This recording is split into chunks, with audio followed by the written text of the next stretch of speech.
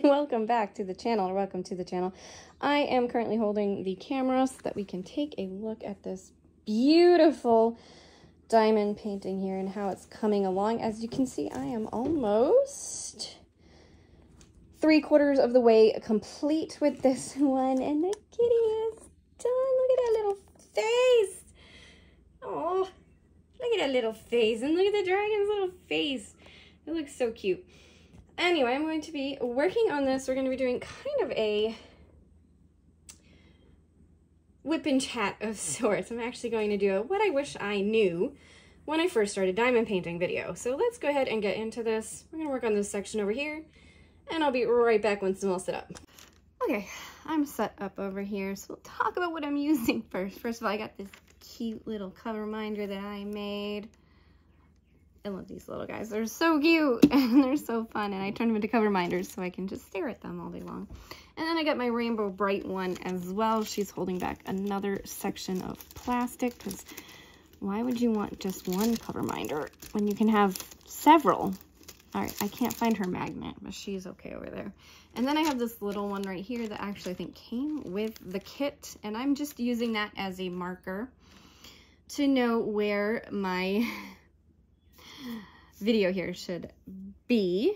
Um, I gotta get my stuff on order. In order, I mean, not on order, in order. All right, and then I'm gonna use this pen. This is from Jim's Handmade Pen Shop.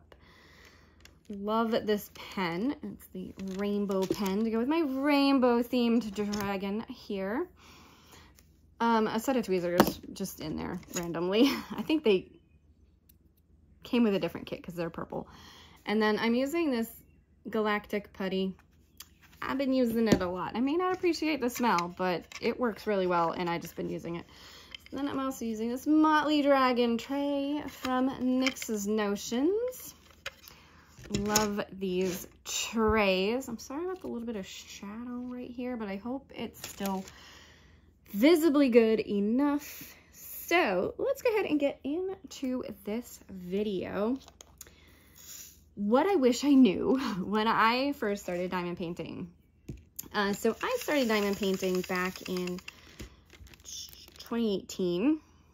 I think, yeah, 2018. My husband went to help my parents out for a while and I was alone. and I needed something to occupy my time.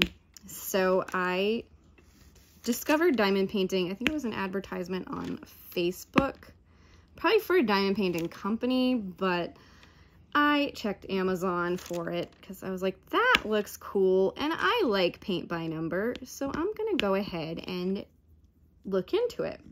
So I found a kit I liked. I ordered it and I got it in. Cool, right? Now, I knew nothing about diamond painting. Never diamond painted before. Didn't watch YouTube videos on it. Um, I knew absolutely zilch, zero about diamond painting, except that it looked cool and it was kind of paint by number-esque.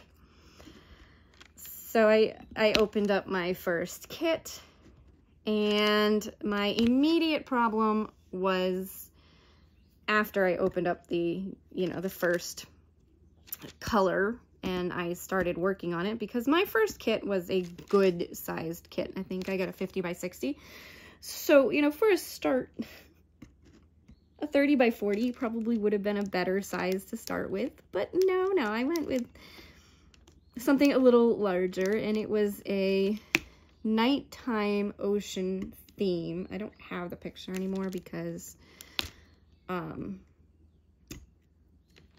it I, I didn't seal it properly and it kind of died. But, and, you know, if I did finish it and it was a nighttime ocean theme of the moon on the water and the and a palm tree and the beach and it was just a really pretty nighttime ocean theme.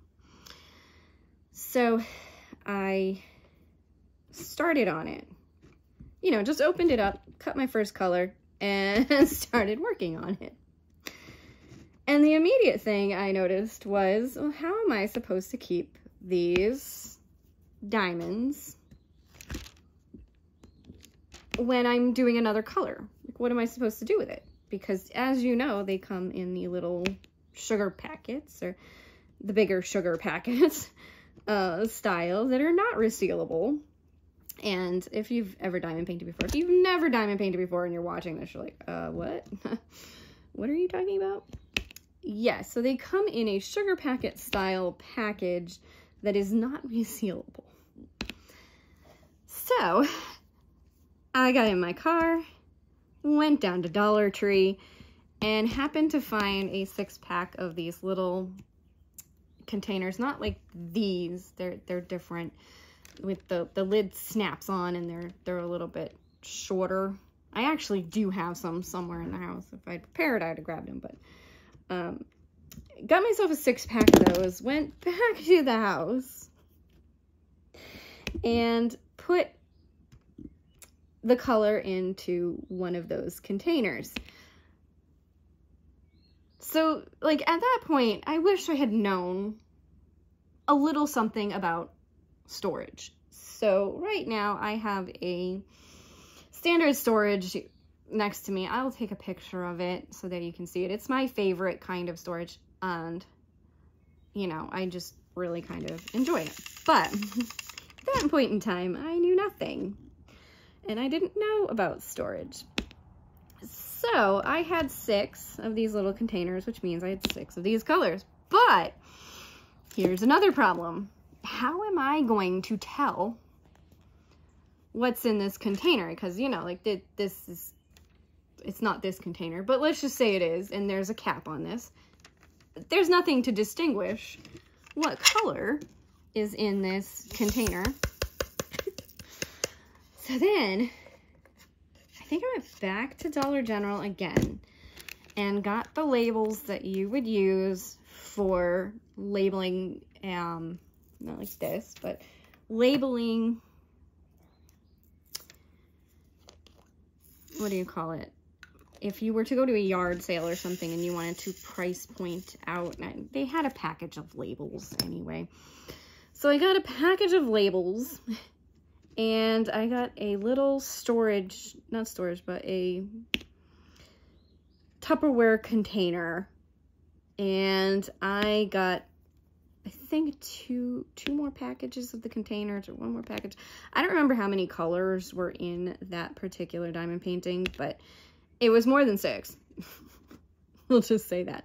So I got enough containers to cover the entirety of all of the colors. And then that is what I worked out of. These little snap-on lid containers that you can get at Dollar Tree. They're still there to this day. Or at least they were the last time I was in Dollar Tree and checked. Um, and a small Tupperware container that I stuck Christmas stickers on that I got for free. Because for some odd reason, I had Christmas stickers. I don't know. And that was my storage unit. It wasn't the best situation, for sure, but it worked. So I wish I had known about storage or that storage was a thing that you needed and the different types of storage there are. Now, of course, now knowing about storage and needing storage, that this is something that you definitely need, um, I, I have tried many different storage units. Storage units. You know, rent out a storage unit just for my diamond painting drills. No, uh, many different storage containers. And definitely have you know learned which ones I like the best, which ones I will continue to use over and over again, and which ones I could just toss in the trash, not use. And at some point, I will do a storage video of the storage units that uh, are storage systems that I have currently. I, that might be going off into the, I'm just going to put it in there anyway, even though it's off camera. Um, because it's just a small section of this color. so I'm just to do it real quick anyway. Uh, so I We'll do that at some point. But that is something that I wish I had known as a new diamond painter is storage. you know, that you're definitely going to need storage. You need something to keep these these tiny little things in. Um, another thing I wish I would known is the uh, upgrading the tool system. So, you know, you get, and I do have this actually sitting right here somewhere, right next to me. I did have it. Where did I put it? Is it on the table here? Yes, it's on the table here. Okay. So, if you have a diamond painting, ooh, that probably had better lighting over there. Whoops. you probably know, let me pick my next color, what they come with. But if you don't, there is a standard toolkit that comes with every diamond painting. I'm trying to find like my next color. so I'm like thinking of that at the same time here. Okay, I got it. Um, so yes, there is a standard toolkit. This is the standard toolkit that comes with almost every diamond painting that you're gonna get. This little green tray this pink wax, and this pink pen. I probably did my first um, several diamond paintings with just this pink pen and no multi-placer on the end. So just this tip, single placing the entire time, which you know, like that's that's fine. People single place all the time. Like you do what is comfortable for you. And yeah, but I am going to talk about that, like knowing that at and then on the next topic. But now you see what I'm using for my pen. This is quite a bit different than this pen. Now the single placer is the same because I just happen to really like this tip. It works best for me. It's what I enjoy. So I use that. Um, so that is the same, but um, the multi-placer on this is a four. That's my favorite. And, but you see this pen and it's, it's chunkier. So you can get a pen in this style, this exact same shape here, the three bumps, on Amazon for, they're pretty inexpensive. You get a bunch of tips with them. Sometimes you get trays with them. And they're not too, too much money, but they definitely feel a lot different. So imagine doing your entire diamond painting, single placing, with just this pink pen. They're thin. There's not much to them.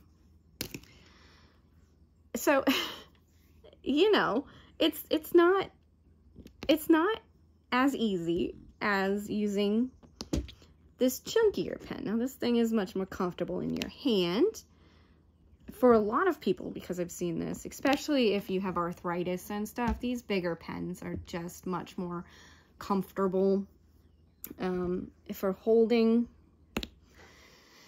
And then there's also this tray so I can show this real quick because you know, upgrading the tools here. You've got your, your drills in this tray and you shake them out and they, you know, like they kind of, they kind of do. But you look at the difference in space here. So look at how much I have here compared to here. You know, like you can fit this whole thing in here almost twice. so you know, and you do get some, like this is, this is Diamond Art Club's tray. It's not a bad tray. It's a good tray. It does what it's supposed to do. And by all means, it's certainly fine. Another thing for me is the, the side of this tray. I don't know if you can see that difference there in height. How much higher this one is. It's got a pretty high side. Because I tend to throw my drills around a bit. So, they also shake out really nice. So, like, I wish I had known about upgrading the toolkit. Now, back when I first started diamond painting, there were not Etsy shops dedicated to just diamond painting, or at least not that I know of. I don't think they were around at that point. I did stop diamond painting from about 2019 to the end of 2020 or somewhere in 2020 that I started diamond painting again. And then 2021 was when I really got back into it and even started doing events and watching YouTube videos and stuff. So back at that point in time, when I got my storage unit or my storage system, yeah, I'm going to keep saying storage unit. It's, it's going to happen. I'm just going to keep saying it. I know I am. I don't mean to, but I'm going to keep saying it. Uh, my storage system at that point in time, it came with, you probably got a bunch of trays, maybe some different sizes, but they were still the flimsy, cheap little plastic things, like these green trays, and a ton of the pink pens. Like, I probably got 10 pink pens in one set when I started buying storage systems because they always come with little extras as well and it's usually everything you need to diamond paint which is true. Like this is everything you need. You can get by with just that that system. But this is definitely makes things better makes life a little better. Why do i feel like you're not? Oh no you are. Um it changed it was a game changer for me for sure. And it's something that i just kind of wish i had known because like i said i did my first diamond art club with one of those pink pens single placing the entire time. And i am talking this size that i'm working on right now so this is i mean it was roughly around this size what are you where is your size where is your size uh, this is a 22 by 33. I want to say that the first one I did was a 20 by 32 or something. I don't know. But I did my first Diamond Art Club completely single placing with just the pen that comes in the Diamond Art Club set and just the tray that comes with Diamond Art Club stuff. I didn't have an upgraded tray at that point. Or if I did, it was, again, it was still one of these, these thin ones that you get. It was kind of like that. So, because I would call that a little bit of an upgrade from the pickle tray. The little green boat. Still use those little green ones. I'm not saying that they're not good. They work. They definitely work, and I still use them on occasion. I like to use them for smaller off-canvas projects. Right now, the Disney 100 book that I'm doing, like they, they come in really handy for that because I can just kind of like hold this in my hand and just quickly do, do, do, do, because it's small. It's a, you can still hold this in your hand, but it's a little bit harder and it just gets a little bit more clunky but it holds a lot more drills, so that's why it's it's great. so I guess to say what I wish I had known when I first started diamond painting is that there were other options when it came to trays and pens and tools that you use for diamond painting. And there are definitely, you know, these trays right here, you can only get custom made. Um, so that one is kind of a little bit harder. But this one, I think was $13.50. Like, it's not that, that bad. You can find them on Etsy for reasonable prices. And if this wasn't 13 and 50 cents, this could have been like $20. Like, it's not too, too unreasonable. It's manageable, especially if that's the only thing you're getting you know, you only get one tray, that's fine. Like, all you need is one tray. like, you don't need a bunch, you just need one. So, yeah. I know, I see people that collect them. Like, I see it. Like, what, why? What are, what are you gonna do with all those? Can only use one at a time. I even have a ton. I, like, I only use one at a time. I try to switch them up make them match my diamond painting because I do have a bunch. But yeah, And I still buy more. I'm like, I'm not saying like I don't buy them. I do. I just try not to go crazy on it because I know that I can only use one at a time. But that is one thing I wish I had known is that there were other options. And these pens were available on Amazon at that time. I know they were. Um, probably not as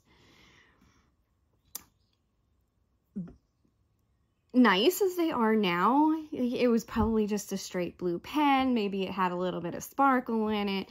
I know they had those ones with the little pink, like little flowy things in them. I have a couple of those.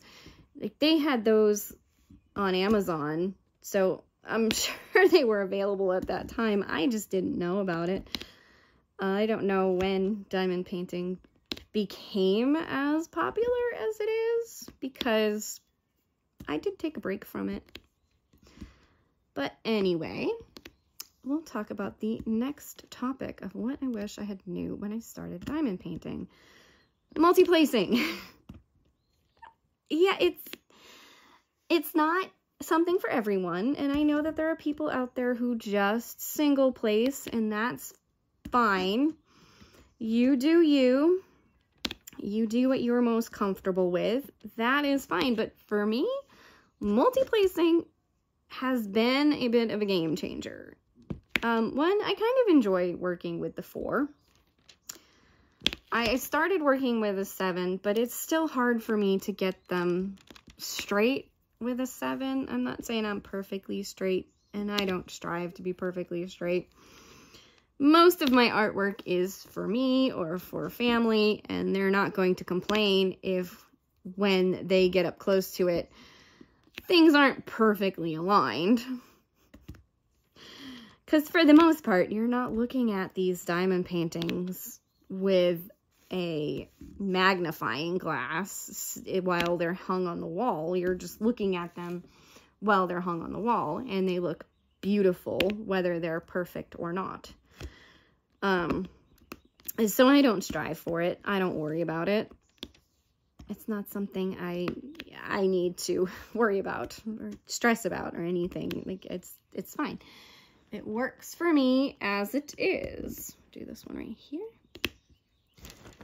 Um, so, but multi-placing itself, for me, was a bit of a game changer. Like once I started multi-placing, and I did kind of have to force myself to actually start trying to multi-place. So I picked a picture that I liked, I just dropped my pen, but didn't care as much about how it looked. And I said, I am going to learn how to multi-place with this picture. So something like this picture right here. I really like this picture, but there's big sections of color blocking. Like you've got perfect amounts here to practice multi-placing and there's no real confetti because you can't really multi-place with confetti. Like, it gets harder with that, especially if it's changing out. Like, uh, it's, it's just no. I mean, you still can. Like, you see me doing two here. You can do two or even one with the multi-placer tip. Like, you don't have to switch back and forth with the, the tip. You can just use your multi-placer tip. Or you can use your, your single placer tip. I tend to switch back and forth a lot, so when you go to single place, I'll switch to the single placer. And then back to the multi-placer for multi-placing. So, you know, like it was something that I like wish I had known because I did this one canvas with huge color blocking, completely single placing, and I would have to make a game of it. So like I would have to make, say, you know, like this black section right here is a big square. It's not. So I'd have to like make a game of, I'm going to start on the outside and just do the outside of this square. And, and you can already see how much time, more time it's taking me to do this than if I was, I mean, this isn't the best color to be going with because it's just straight lines, but it's taking me a little bit more time to single place than it is to just throw in, oh, look, you know, like that section's already basically complete. because I was able to multi-place it. I'll just throw you up here.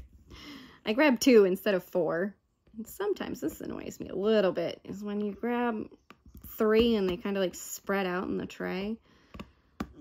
no, don't do that yet. I have four. But yes, so I wish I had known about multi-placing. I honestly don't think I learned about multi-placing until I was watching... Um, was I watching? I can't think of the channel name. I can't think of the person now. I think her name's Daphne. I haven't watched these channels in a while because I started watching and then they just they just became all about the unboxing videos from Diamond Art Club for the sneak peeks and and quite honestly, like, you know, like I think a good WIP and chat is good, but not everybody wants to know your entire life story. Not saying there aren't people out there that do, but I'm not one of them. I do not need to know what your kids had for lunch that day and stuff. And, you know, like, I, I enjoy a good WIP and chat. Don't get me wrong. I do enjoy a good WIP and chat. But I think there are some whip and chats that are a little bit more in detail about the people's lives than they need to be. And that's all I'm going to say on that. Sometimes maybe even mine go that way. I try not to. But sometimes mine might go that way too, because you do just kind of get rambling and talking and yeah. So I, I'm not a big WIP and chat fan personally. I don't tend to watch them as much. Um, I will watch my friends' WIP and chats because I think it's good to support them in their creative direction. And I know that some of them watch my WIP and chats and they tell me that I had a good chat or something. Like, like yeah, I feel like it was horrible. Thank you. But yeah. But anyway, so multi-placing, that is where I was going with this. And it's just something that I wish I had known about sooner or that I wish I had tried sooner. Maybe not quite what I knew, but that I had tried because I think multi-placers were coming to me in other kits and stuff. I was just probably too scared to try it. And so that's that's why. But now that I do do it, I am trying to expand my multi-placing into a bigger one than the four, but the four has always been my comfort zone. I found it. It's my comfort zone. I'm good with this, this size. I can get things fairly straight. They're not perfect, but they're fairly straight. And, you know, you can always manipulate your drills a little bit on this kind of canvas. Um, you cannot manipulate drills on the double-sided adhesive canvas. I'm not saying, I, I shouldn't say you can't. You can. You shouldn't. That's what I should say. You should not manipulate drills on a double-sided adhesive canvas because it will push the adhesive. Whereas on this one, I can move these around here all I want. This is just poured glue. And some poured glue is more slidey than other poured glue. So, you know, like it's perfectly fine. You're just moving the glue around when you're moving them. Like this one here, I want to put over here. You know, like you can just do that. You can just move it.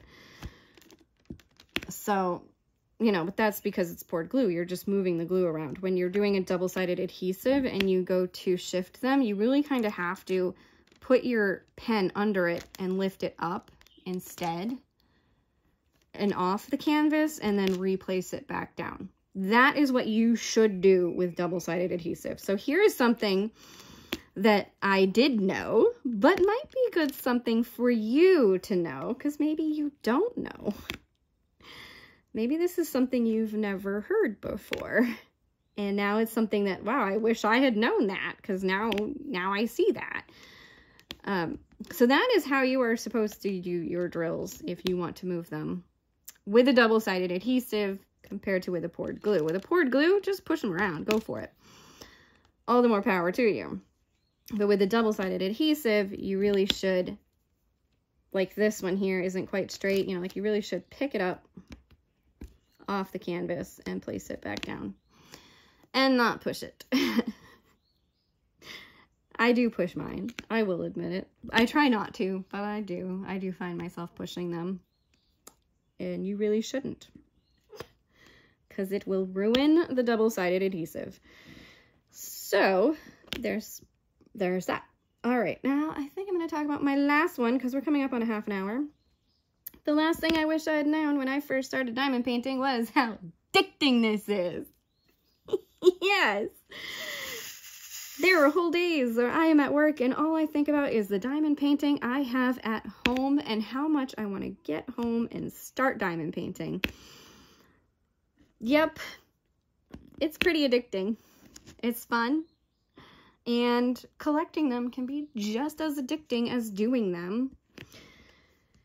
If you if you do find yourself as someone new to this, it is a fun, relaxing hobby that is fairly easy to do and can even be done by children or a little bit over there children or you know older adults who aren't as able to do some things as they used to be able to do. They have arthritis or other things.